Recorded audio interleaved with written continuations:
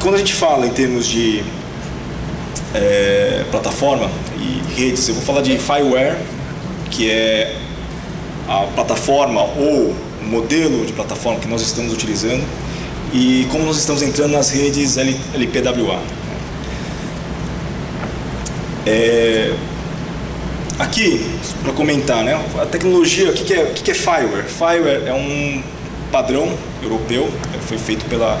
É, é, é uma, é uma, é uma é um esforço, é um projeto europeu com fundo europeu. A Telefônica lidera esse esforço para criar uma plataforma aberta é, de IoT. Essa plataforma ela tem distintos colaboradores, componentes, mas a Telefônica é um dos é, participantes ativos dessa, dessa, desse esforço. E qual é a ideia? É justamente criar ambiente, criar é, mecanismos que permitam que a internet das coisas ela escale. Né? Ela escale não com tecnologia proprietária, é, em que você tem dificuldade em ganhar volume, mas sim em tecnologias abertas que você consiga trazer outros parceiros, é, outros países, outros é, players, outras operadoras, outros é, é, fabricantes para essa, essa possibilidade. Ligado a isso, existe um esforço também que a gente chama que é o FiLab. Né? Isso não é só para deixar claro, não é um projeto telefônico, é um projeto europeu e a Telefônica é participante e lidera é, boa parte do desenvolvimento dessa plataforma, mas é um projeto europeu. E o FiLab é um conceito é, justamente para estabelecimento de laboratórios e é, nodos ou é, é, instâncias locais é, do Fireware para a criação justamente de aplicação, uh, de novas empresas baseando suas aplicações e desenvolvimento em cima do Fireware, é, pra, ou seja, criar um entorno, criar um ecossistema para que é, essa, esse desenvolvimento aconteça. Né? E por que, que a Telefônica apostou no Fireware? Né? É, eu já comentei, tecno, é Open Standard, vou comentar rapidamente, não vou, não vou, não vou ler tudo aqui. Né?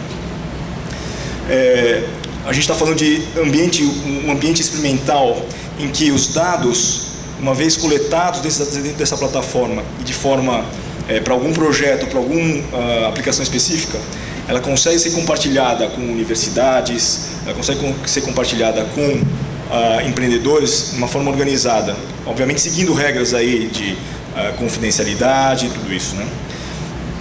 Tem toda a parte, um dos esforços, a quarta linha ali, o quarto ponto, incentivos para a criação do ecossistema.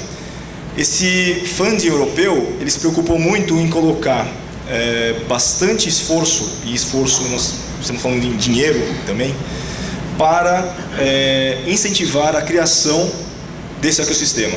Né? É, fazendo toda a parte de financiamento, inclusive de empreendedores, hackathons que premiam aí é, novas ideias para que isso possa florescer. Não só é, na Europa, mas Brasil, por exemplo, no último Campus Party é, foi feito isso e, e, continua sendo feito. A, a ideia é trazer um, um nodo é, Firewire para o Brasil. E um, um footprint global, ou seja, presença global, ou seja, mais uma vez naquele esforço de tornar isso uma, um, um padrão mundial, né? que isso possa justamente gerar os ganhos de escala que é bom para o mercado como um todo. Né? Então, eu falei aqui, bom, é, sobre o FileLab, que é a implantação do Fireware como enfoque em, em, testes e experimentação. Já tem aí uma série de datasets, falando mais temos questões técnicas já atualizados, acessíveis, ou seja, é compartilhado entre a comunidade que desenvolve, não precisa criar isso do zero, né? Estão 150 em andamento agora já. E como eu falei aqui, né? As aplicações envolvidas dentro do FileLab, usando os Fireware, podem ser usadas nas cidades e vice-versa aplicações feitas nas cidades, elas podem ser usadas por desenvolvedores para a criação de novas aplicações. Então, é, uma, é, um, é um processo de retroalimentação. Né? É, e aí a gente está falando que, quando a gente fala de global, Fireware ele está já em cidades é, da Itália, Espanha, Finlândia, é, Holanda, Portugal, e aí outros, outros países e cidades também. Né? Uh, Brasil é um uh, Brasil é um país é, em que uh, esse esforço ele ele ele ele está ganhando espaço e a gente vai trazer essa essa é, uma instância do Fireware para cá.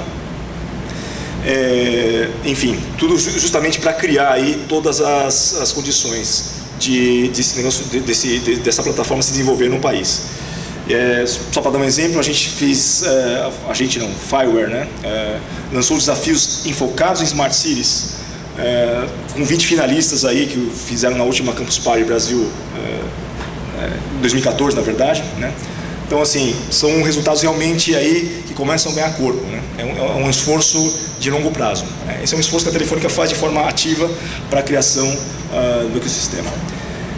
E, falando agora do segundo ponto, como a Telefônica também, na parte de conectividade, além do 3G, do 4G, do 5G, que é uma evolução, a Telefônica estará dentro disso, fibra, uh, é, a DSL, ou seja, o que, for de rede, a gente tem as, as conectividades, existe uma outra, é, um outro gap, ou um espaço para o que a gente chama de do Low, low Power Wide Area, o LPWA, que é justamente, é, como o nome diz, pouco uso, pouco consumo, são é uma tecnologia que, que permite o uso de pouca energia, mas que cobre uma grande área.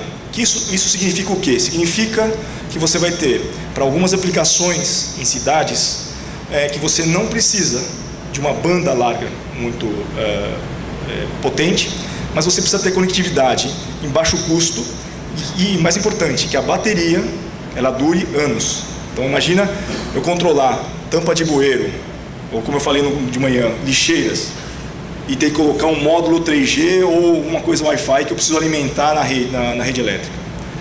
É, essa instalação é inviável. Então isso precisa ser coisas que a gente coloque ali e esse negócio fique por anos mandando informações é, com é, baixa quantidade de dados, mas dados importantes, e é, isso consiga ser coberto numa grande área. Né? Isso, é o, isso é o Low Power Wide Area.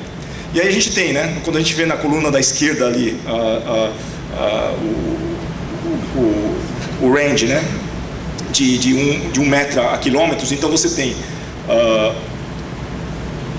tecnologias aí de short range, né, e aqui na, na, na, na no eixo é, X aqui, nós, a gente tem toda a parte de data rate, ou seja, quantidade de dados né, que, que podem ser passados. Então a gente vê que na, na, na, na, parte de baixo aqui a gente tem já bastante coberto aí com Zigbee, uh, Bluetooth Low Energy, né, já alguns, algumas tecnologias acontecendo para cobrir locais, né, com, com baixo uh, quantidade de dados.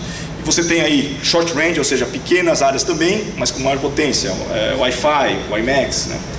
E redes celulares que estão onipresentes, que podem estar em qualquer lugar. E aí, justamente, o ponto onde você tem pouca é, é, é, transmissão de dado, mas numa área bastante grande. Então, imagina áreas rurais onde você consiga conectar ah, informações de gestão de gado uh, com uma tecnologia como essa. Você implanta uma célula, você tem uma cobertura muito grande, você distribui isso no seu gado e consegue ter acesso às informações de uma maneira bastante centralizada. Tá. acabou. É, bom, eu não vou. Aqui é, são mais detalhes aqui de como a gente está tá entrando isso, mas basicamente, é, como, como ponto final aqui, é dizer que a Telefônica ela tem investido é, é importante utilizar aqui. Ela tem, tem investido nessas tecnologias e a Telefônica ela decidiu investir junto com é, Docomo, SK Telecom, é, na Sigfox, ou seja, nós somos parte do board dessa empresa, porque nós acreditamos que é um esforço viável e quando a gente fala de tecnologias de conectividade, a gente vê complementaridade. Né? Isso aqui eu costumo falar é um Lego. É, e, o, e não existe uma coisa que funcione para tudo. Uh, existe uma que funciona para isso, que combinado com um low power uh, funciona para aquilo. Se você tem câmeras de segurança, provavelmente um low power não vai resolver, mas você vai precisar de talvez um 4G ou talvez uma fibra mesmo. Enfim, é um lego uh, de, de, informações que precisam ser trabalhadas para dar, melhor, dar a melhor solução. Ou seja, a caixa de ferramentas, ela não é aquela, eu tenho essa rede e vamos buscar a solução, o problema para essa que essa rede vai resolver.